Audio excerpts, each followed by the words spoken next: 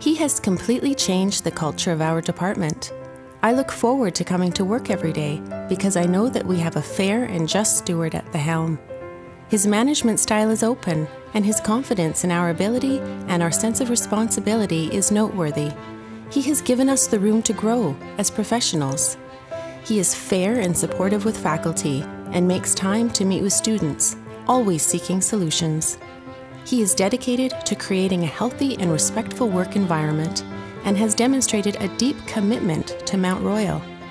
Tom Buchanan, Sociology and Anthropology.